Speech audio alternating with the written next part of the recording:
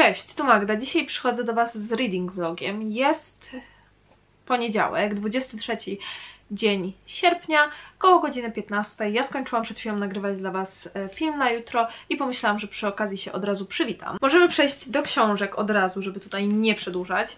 Więc tak, e, pierwsza książka to poradnik dla damy po halkach i korsarstwie, nie mogę zapamiętać tego tytułu, Mackenzie Lee. Jest to drugi tom z serii, e, gdzie pierwszym tomem był ten poradnik dla dżentelmena o występku i cnocie, który dla Was recenzowałam. E, podlinkuję Wam w opisie e, vloga z recenzją właśnie pierwszego tomu, jakby ktoś e, nie widział jeszcze, a chciał zobaczyć. E, więc tak, zaczęłam. Jestem już na 59 stronie. Przyjdę do Was standardowo, jak przeczytam więcej. Zapowiada się naprawdę fajnie, bardzo feministycznie. Zaczęłam też czytać Myszy i ludzie Johna Steinbecka. Steinbecka, mam nadzieję, że dobrze tutaj wymieniłam, wymieniłam, wymówiłam. Jejku, nie mogę dzisiaj mówić. Mam taki problem z mówieniem dzisiaj. Mam nadzieję, że dobrze wymówiłam nazwisko autora. Myślę, że jest to klasyk każdy z Was e, pewnie o tym słyszał. Jestem na stronie 22. Zapowiada się naprawdę fajnie też. E, jest mi na razie szkoda Leniego. Taki biedok jest z niego, a ten George go tak niefajnie traktuje. Ja nie wiem dokładnie, co tam się ma dziać, więc jestem bardzo ciekawa. Już nie mogę się doczekać, aż skończę. Pewnie dzisiaj ją skończę. Wczoraj wieczorem też zaczęłam czytać Dom Emmy Beck Becker. E, Jest to książka, w której autorka opisuje pracę luksusowych prostytutek. Ona sama też dwa lata pracowała w tym zawodzie, aby móc to opisać wszystko. Jestem bardzo ciekawa tej książki. Mamy tutaj opisany mieć luksusowy przybytek w Berlinie. Więc zaczęłam, ale też jestem na 20 stronie. Więc tak, aktywnie czytam te książki. E, Staram się jeszcze wrócić do The Last. Zobaczymy, jak mi to wyjdzie. E, Od środy mam gościa specjalnego, który jeszcze nigdy u mnie nie był, więc e, na pewno też Wam e, coś tam pokażemy, coś porobimy fajnego. Więc tak, ja teraz zmykam czytać i do Was odezwę się później.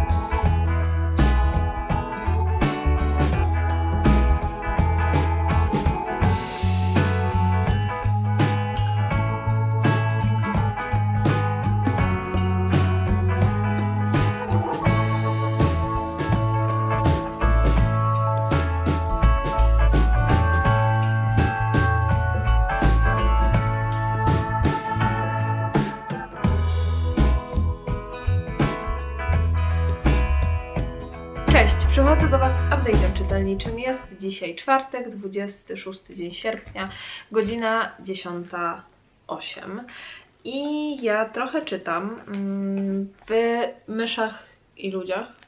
Tak, jestem na stronie 34. Na razie nie jest to nic takiego niezwykłego. Mamy tutaj e, historię George'a i Leniego. Są oni przyjaciółmi. George jest takim zwykłym, silnym mężczyzną, natomiast Leni jest e, takim gigantem, olbrzymem, tak, gigantem, troszkę upośledzonym e, i w, tym, w tej całej relacji on jest taki strasznie biedny, taki borok, wiecie.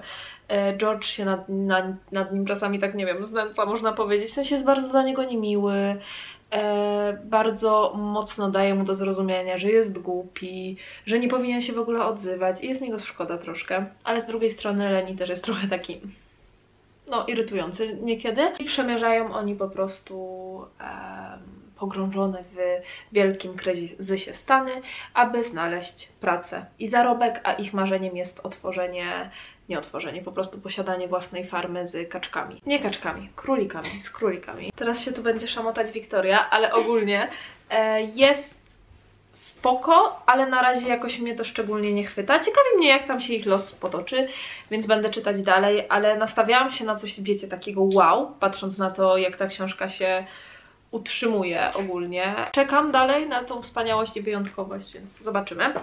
A teraz możemy przejść do przewodnika dla damy po halkach i korsarstwie. Nie mogę zapamiętać tego tytułu dalej. Nie wiem, ile ja Wam o tej książce mówiłam, czy cokolwiek mówiłam, ale ogólnie mamy tutaj historię Felicity. Jeśli czytaliście pierwszy tom, to wiecie kim jest ta dziewczyna, a jeśli nie, to w pierwszym tomie poznawaliśmy rodzeństwo i właśnie Felicity jest jedną z dwójki tego rodzeństwa.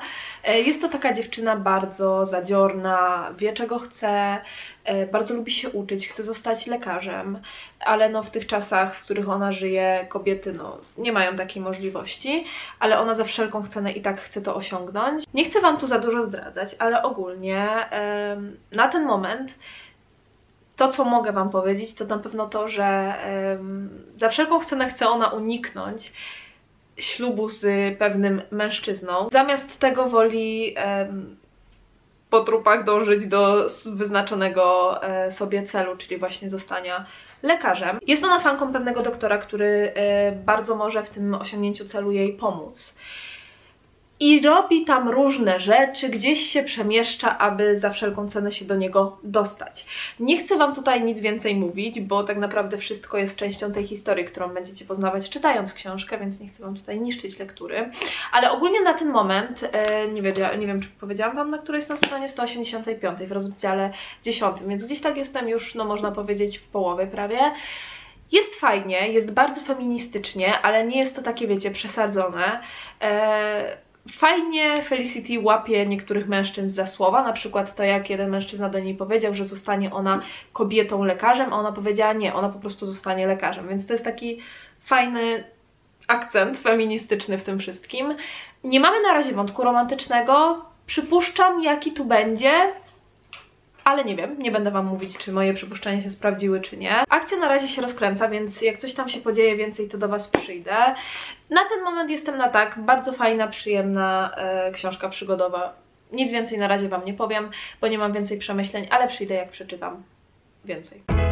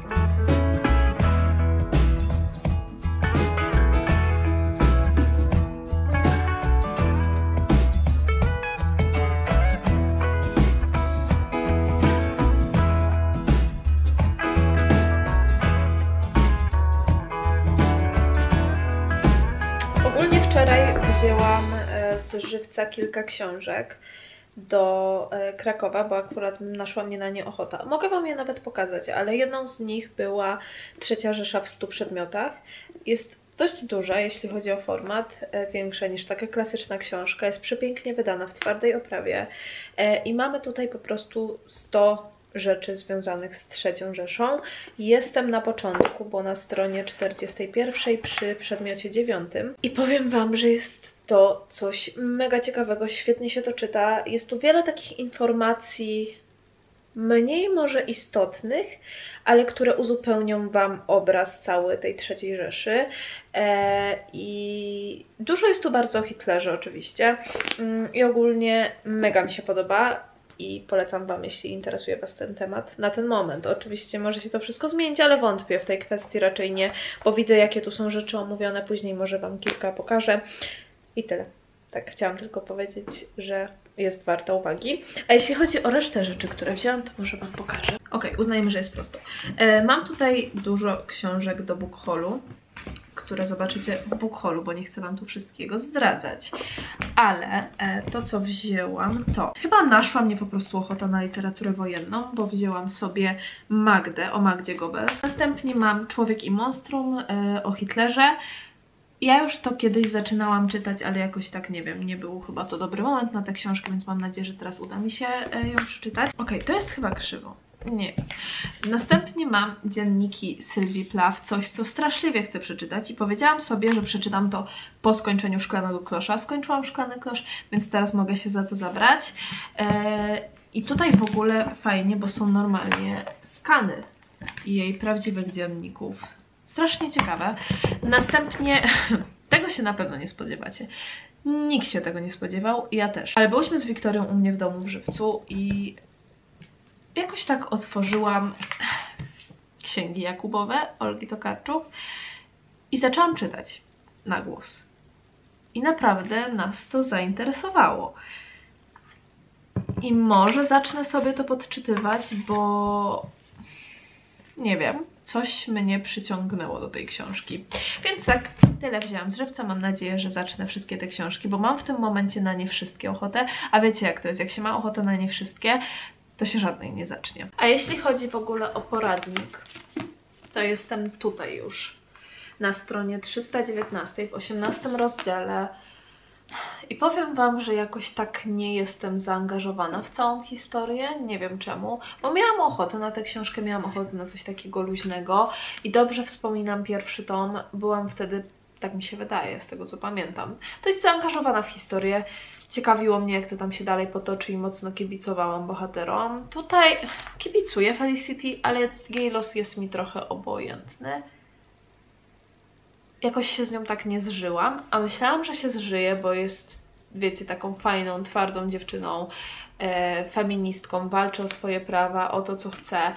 I ja lubię bardzo takie bohaterki. Myślałam, że Felicity właśnie będzie jedną z moich ulubionych bohaterek w ogóle w książkach, bo na to się zapowiadało ale nie wiem. Jak skończę, to do Was przyjdę, bo to światło tu jest tragiczne od tego okna, więc już kończę mówić, ale coś, coś między nami nie gra, ale jeszcze nie jestem w stanie powiedzieć co.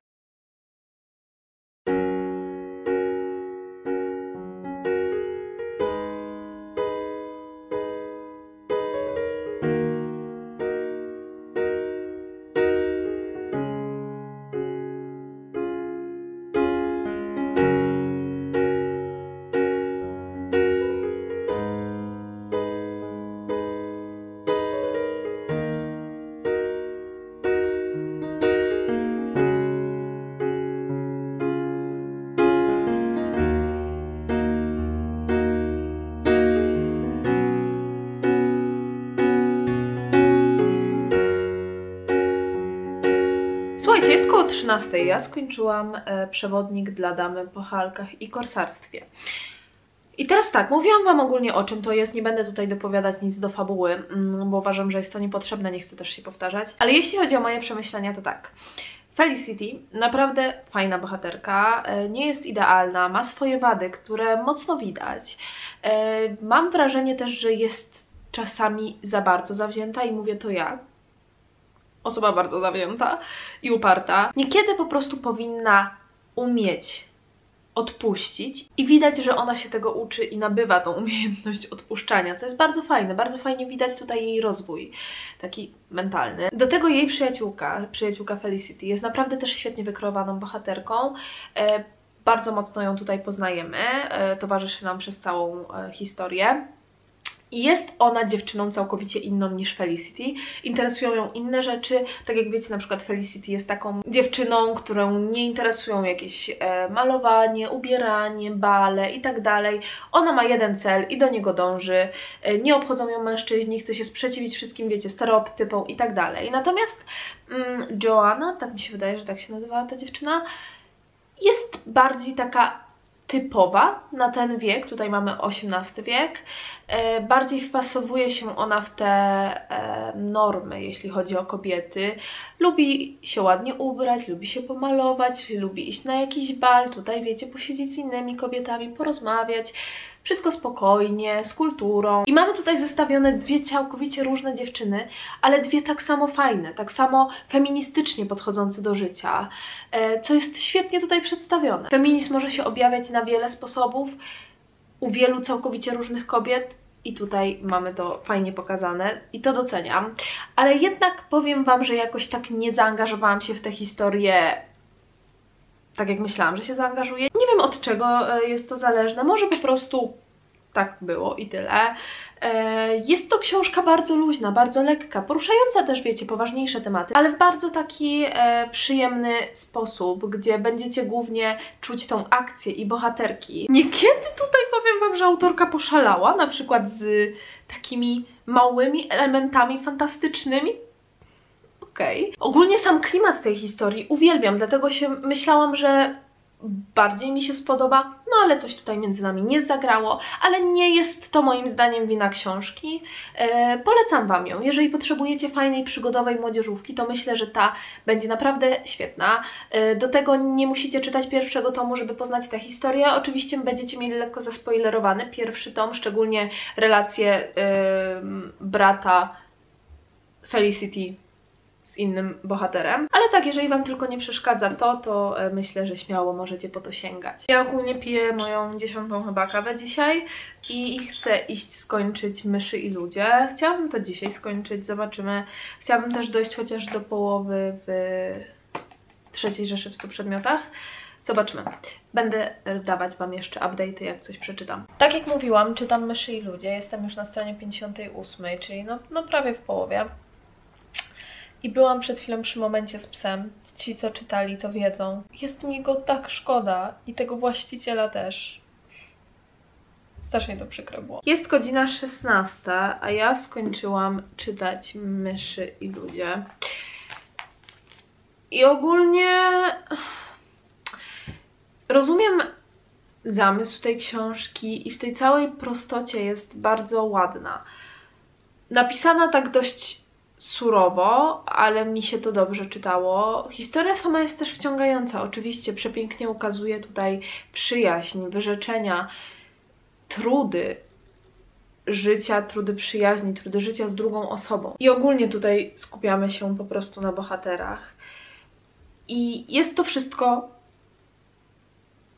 ok, ale nic wielkiego, nie ma tutaj szału, nie zachwyciła mnie. Przeczytałam, przemyślałam, doceniam i to tak naprawdę tyle. I bardzo urzekła mnie tutaj kreacja e, Leniego, ponieważ jest to bohater bardzo taki niewinny w tym wszystkim i delikatny, pomimo rzeczy, które zrobił i, i po prostu siły, którą w sobie ma. Jest on tak naprawdę nieświadomy tego wszystkiego i to zakończenie bardzo dobrze to pokazuje. Strasznie przykre to było. Strasznie było przykro o tym czytać i, i widzieć go po prostu we wszystkich tam sytuacjach życiowych. Więc chyba to najbardziej mnie w tym wszystkim urzekło i pokazanie takiej nieidealnej relacji. Teraz tak jak o niej myślę i mówię, to bardziej mnie uderza to wszystko. Może w podsumowaniu miesiąca powiem Wam, że mnie zachwyciła. Tak też może być. Zobaczymy. Ja teraz siadam e, do montować tą część do vloga i go wstawić, bo o 18 już się pojawi na kanale, a później siadam do tego. Dajcie mi koniecznie znać, co teraz czytacie, czy czytaliście któreś z tych książek, które tu pokazywałam, a ja dziękuję Wam bardzo za oglądanie. Na dzisiaj to już tyle, widzimy się następnym razem, cześć!